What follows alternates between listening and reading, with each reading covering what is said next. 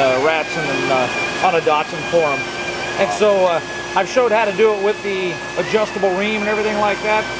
And so uh, for me, it's worth the 60 bucks to now show how to get it done the right way because these guys are going to spend 25 bucks on an adjustable ream, get them all cattywampus, and it's like, you know, hey, listen, spend the 60 bucks, get it done right. Right. So does that keep expanding?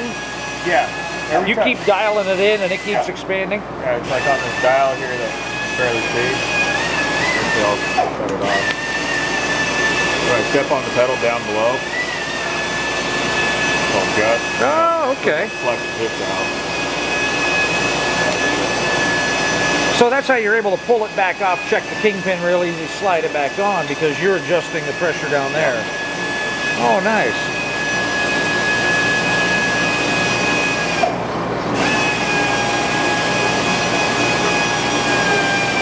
Yeah, the only other video I've ever found uh, online was with the Sunnen Hone, a little bit newer one.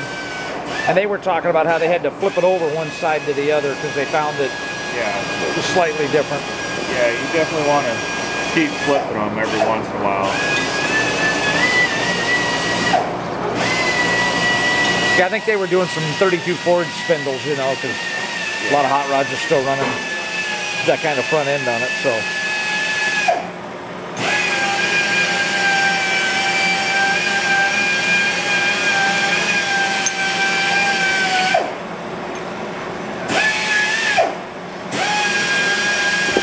yeah, I planned on being here before lunch, but uh, one set of the bushings in one of those spindles. Oh man, what a nightmare. The other one's just pressed right out, no big deal, but Yeah.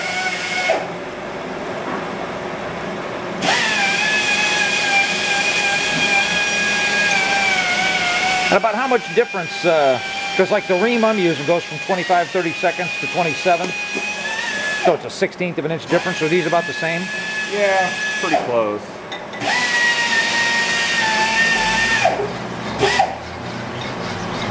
Does that change the speed or the range that your foot pedal adjusts? Uh, the foot pedal just adjusts the, the thickness, just pretty much okay. little by little. So what's the dial change? The dial changes. Uh, this is to add more pressure, Okay. and this pretty much tells you how much pressure you got on the. Oh, and this is a spray bar on here. The other one, uh, the other one I saw in the video was uh, internal feed.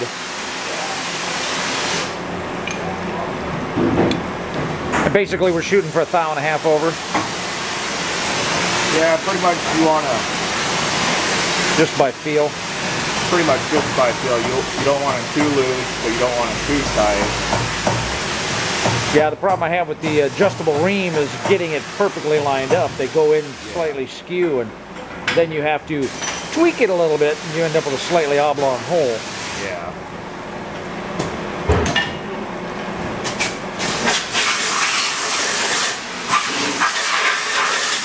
But if you get it too darn tight, you don't get enough oil in there to. Uh.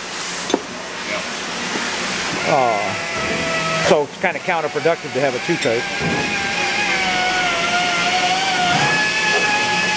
And is there basically just one stone on there, and then a couple extra guides? Yeah. So pretty much that's your stone there. Right. And the other ones are just there to keep it concentric. Yeah. If you see how it pops up on that stone. Oh yeah. So is that pulling a bar inside?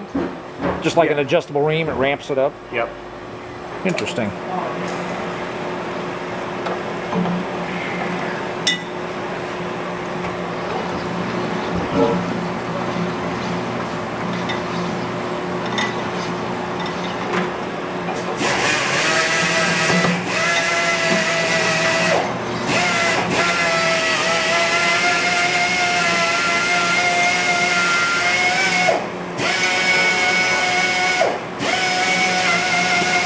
Yeah, I've done these before where the uh, the bushings were non-existent. It was already into the spindle. Yeah.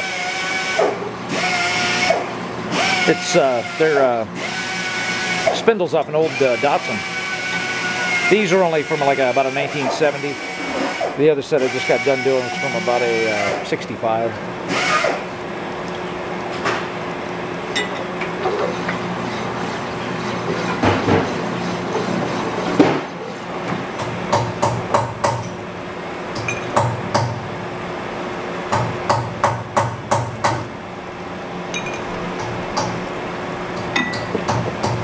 Closer.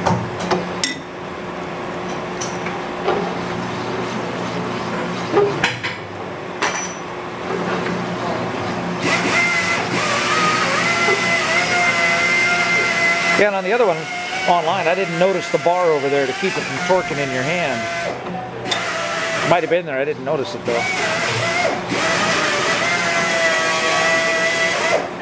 Yeah, I've had it once where it got so tight it spun the whole thing around on me. Oh, nice. Can, can you let go of it fast enough? It was pretty close.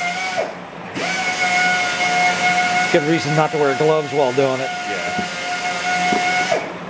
Just let them cool down a little bit and check Did they get that much hot heat? A little bit of heat will uh, definitely expand these.